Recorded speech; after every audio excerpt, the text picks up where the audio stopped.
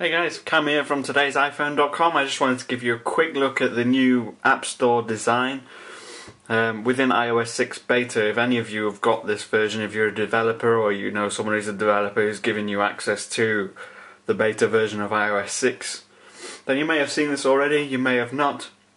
But what you may or may not know is that a little while ago Apple bought a company called Chomp. It was a it was a company that specialized in finding apps uh, within the App Store. Now, as you can see from here, there's not a lot of difference when it comes to how the App Store looks. This is how it has always pretty much looked in iOS 6 beta. A Couple of differences um, really is mostly the, the Genius is kind of working but not. Instead of saying that Genius isn't available now, it just says that you don't have any apps available for recommendation. So it's it's kind of on, but it's not really working properly yet um, and it should be. I mean, I've downloaded so many apps, it's ridiculous. So, um, if it was working, I would definitely have something in there, but obviously it's not there. Now, the big difference is when you actually search for something. So, if I search for, I don't know, maybe football, um, I'll search in here.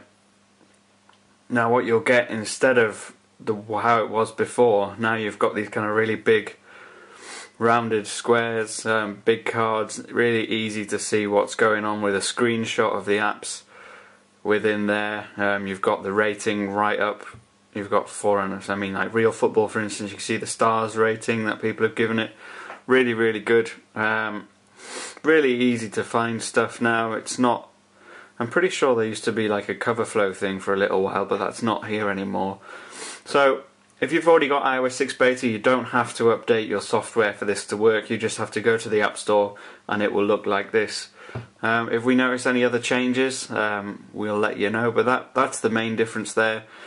And also, uh, if you want to view the app, it comes up in a little pop-up here, which it, it kind of was doing already. And you can flick through the screenshots here. Uh, and you can share it via Facebook, Twitter, mail, etc or just copying the link. Um, and to install games is really easy. You just hit the free button, install app, and it will do its thing. So that's been the new App Store. Um, not majorly different in most aspects. It's when you actually search for apps that's when you're going to notice the difference. If you want to ask me any more questions about iOS 6 beta, please feel free to ask me on Twitter. I normally respond to every tweet at TIP underscore cam. And check out our Facebook page. It's facebook.com forward slash today's iPhone. I'll see you again soon.